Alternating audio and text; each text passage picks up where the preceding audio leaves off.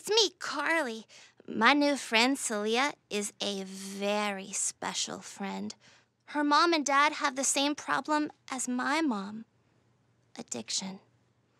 When my mom was having a hard time, I had lots of big feelings. I felt like I was the only one. But now, now I've met other kids like Salia, and we can talk about it together. We also talk about making art and playing at the playground, and she told me all about her family.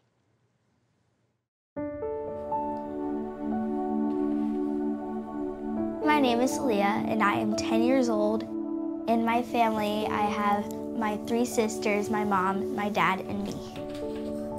Kaya is six. Okay, all good. Faye is two. And my baby sister Levi is nine months. When I was little, my mom and dad had to leave, and I had to stay with grandma and grandpa. My parents were struggling through a bad time with addiction. They had to go to a place to help them feel better. Addiction is a sickness.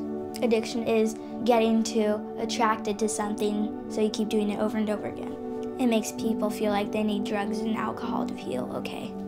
And they can't stop doing it, and they aren't acting like themselves. They were gone for 60 days, but it felt like 60 years. When I was this age, you had to leave. Yeah, we had to leave for 60 days to go get help because we wanted you to have a good life. But first, we had to take care of ourselves so that we could do that. Mm-hmm. That's why Dad's so sad. Mm-hmm. In that That picture, That is why I'm so sad. That's when Dad was drinking a lot. For any sickness, people need treatment to feel better.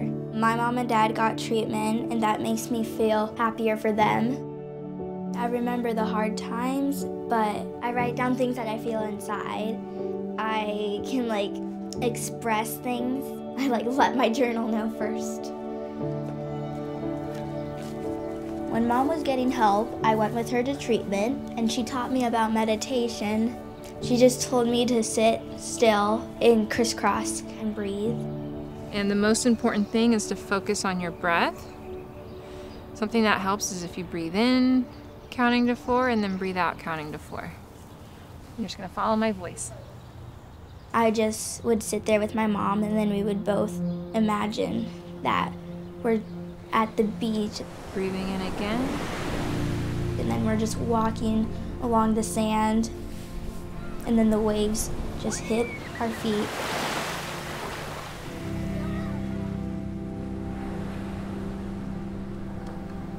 As you're walking down the beach, what do you see, Salia? I see the water, the sand, and the wind. Do you feel happiness? Calm?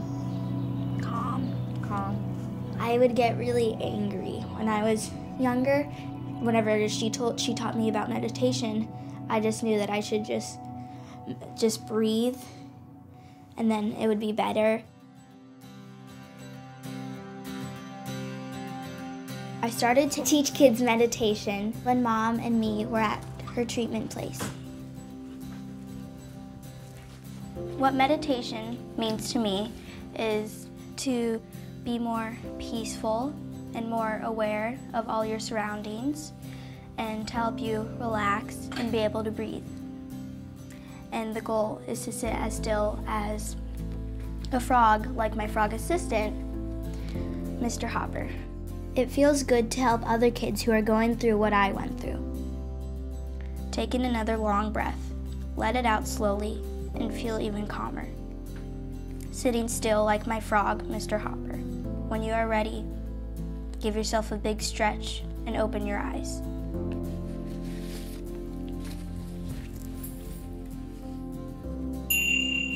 Kids and their moms need time to breathe and relax because they're stressed and may be having big feelings. Mom says it's good to talk about any big feelings I have, and they're all okay. I started doing art when mom and me were at her treatment place. Sometimes I draw pictures that show my feelings or show things that happened. Playing is important. Mom says our main job is to just be kids. Oh, My parents help us stay safe. They say they work very hard to stay healthy so that our family stays healthy. Now that mom and dad are in recovery, we can do fun things together like going to the beach.